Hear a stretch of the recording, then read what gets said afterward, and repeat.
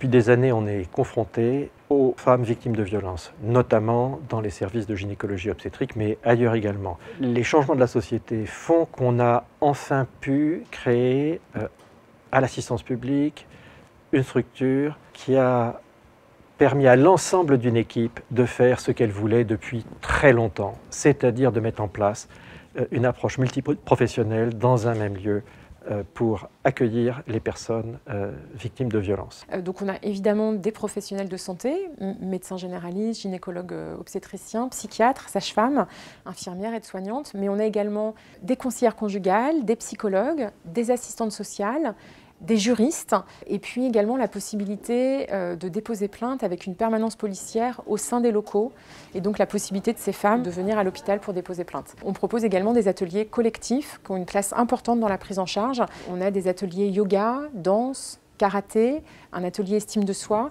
Euh, l'objectif de ces ateliers, c'est de se réapproprier son corps, de reprendre conscience en soi, et on sait que ça, ça participe vraiment à la prise en charge et à la sortie euh, du cercle de violence pour ces femmes. Les femmes qui viennent nous voir, pour celles qui ont un stress post-traumatique ou d'autres conséquences euh, psychiques assez lourdes, vont avoir besoin qu'on puisse les accompagner sur un nombre suffisant de séances pour pouvoir les aider à travailler sur ces différents symptômes qui peuvent nécessiter une prise en charge, un accompagnement qui peut passer par la psychothérapie et par un certain nombre de traitements qui peuvent aider à stabiliser notamment euh, les cauchemars, les troubles du sommeil, les reviviscences traumatiques, les symptômes dépressifs. Donc l'idée c'est bel et bien de fournir aux patientes tous les outils qu'on a à notre disposition pour les aider à, se reconstruire. La santé sexuelle, telle que définie par l'OMS, c'est un état de bien-être global dans le domaine de la sexualité, que ce soit physique, mental et social.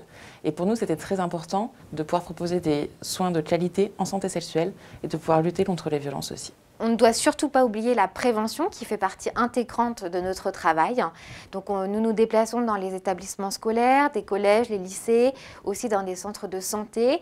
Euh, nous intervenons aussi auprès des personnes euh, atteintes de handicap. La chose très importante pour nous est de faire passer des messages et notamment la notion de consentement qui est une notion très importante dans la prise en charge et la prévention des violences. La durée de la prise en charge, elle est vraiment euh, adaptée à chaque situation. C'est un peu du sur-mesure finalement. On s'adapte euh, euh, et on évalue chaque situation. Donc ça peut être du court terme et ça peut être du, moyen voire long terme, avec des prises en charge qui peuvent s'arrêter et reprendre, et des prises en charge qui peuvent aller jusqu'à un an.